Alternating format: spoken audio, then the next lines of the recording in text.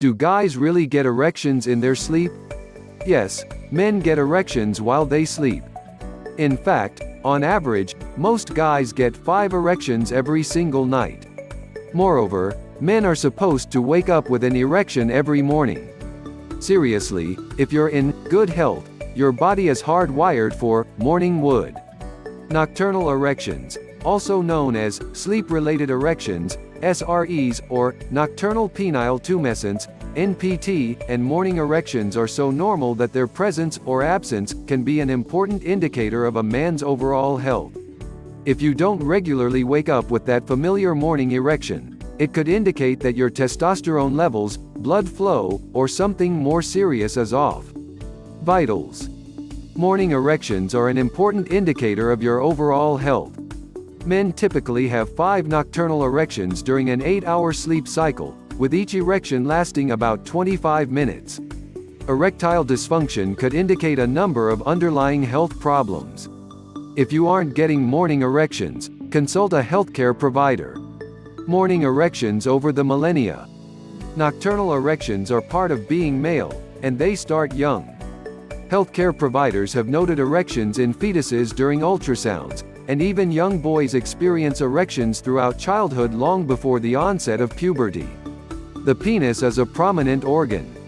The fact that it swells during the night, and each morning, isn't new information. According to ecclesiastical records, a jury would actually stay by the bedside of an accused man and wait for him to get an erection in his sleep.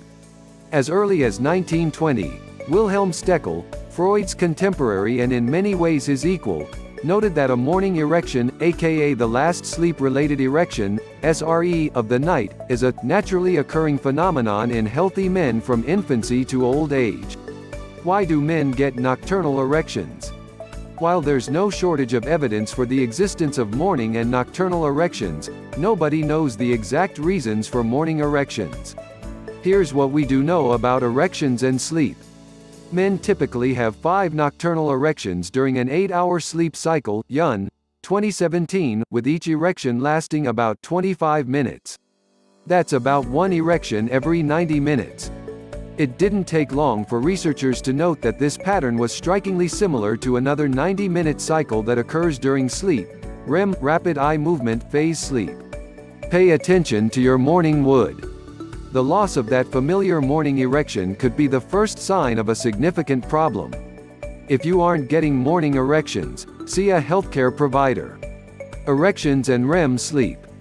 In 1965, researchers confirmed the relationship between REM sleep and nocturnal erections, or the dreaming phase of sleep, fueling several decades of speculation about what really occurs during REM sleep to cause erections. Essentially, men slip into REM sleep about an hour and a half after dozing off. Each episode of REM sleep corresponds with an erection lasting 20 to 25 minutes. Men typically have 5 erections during an 8-hour sleep cycle. Nocturnal erections. Competing theories. A leading theory is that norepinephrine production slows down during REM sleep, Mitchell, 2010. This is the chemical primarily responsible for keeping the penis relaxed. Basically, the part of the brain that maintains norepinephrine levels gets turned down during REM sleep. This lets the testosterone-related excitatory mechanisms take over, leading to an erection. Another theory is that your body produces more nitric oxide during REM sleep. Nitric oxide is responsible for making the blood vessels of the penis relax, allowing all the extra blood needed to cause an erection to enter the penis. The bottom line is that no one really knows what role REM sleep plays in nocturnal penile tumescence. Why do men get nighttime erections many times a night? Are morning wood and REM sleep linked, or is it just a really interesting coincidence? There are a lot of theories. Why is morning wood so important? So many things have to go right for you to achieve a strong erection. You have to release hormones on demand and dilate arteries to carry blood to the penis. Your nervous system has to transmit signals perfectly, and your mind has to be in harmony with your body. There's a lot that can go wrong.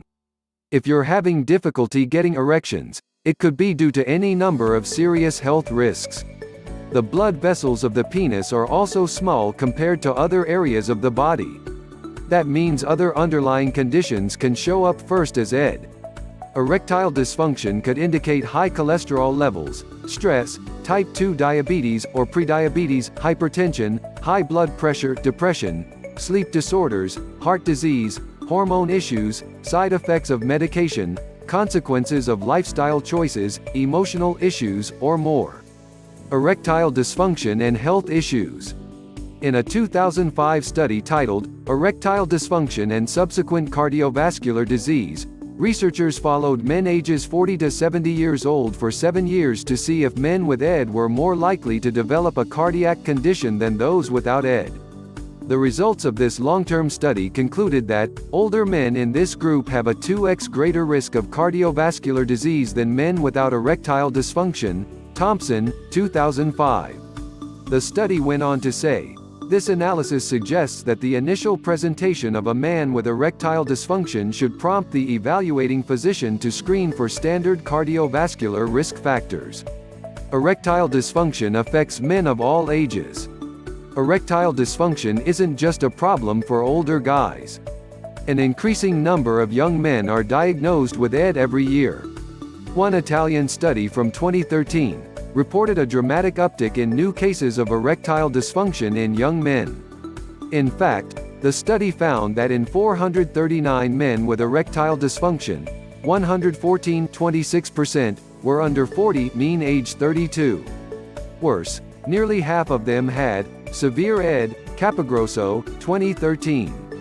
Another Swiss study found that, around 30% of young men experienced erectile dysfunction. The study concluded, multiple health compromising factors are associated with ED, and ED should act as a red flag for health professionals to encourage them to take any opportunity to talk about sexuality with their young male patients. Morning erections are vital to your health. One ED study from 2016 just straight out states the importance of erections right in the title. Erectile dysfunction in young patients as a proxy of overall men's health status. Capogrosso, 2016. Pay attention to your morning wood.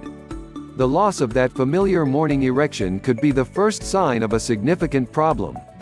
If you aren't getting morning erections, see a healthcare provider getroman.com slash health guide slash morning wood.